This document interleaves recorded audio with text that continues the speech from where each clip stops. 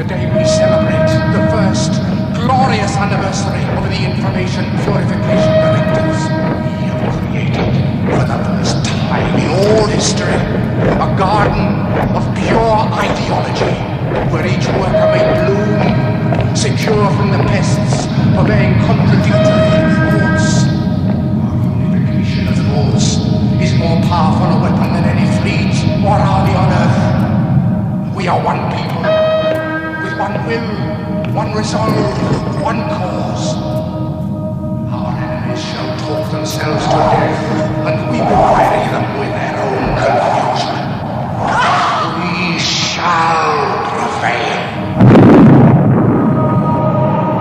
On January 24th, Apple Computer will introduce Macintosh. And you'll see why 1984 won't be like 1984. Insiders claim that Tom Cruise met with Star Wars 7 director J.J. Abrams in London to discuss a possible cameo in Star Wars Episode 7. J.J. Abrams produced Mission Impossible 5 and loves working with Tom whenever he gets the chance. Work on the project will have to be rescheduled due to Harrison Ford's broken leg.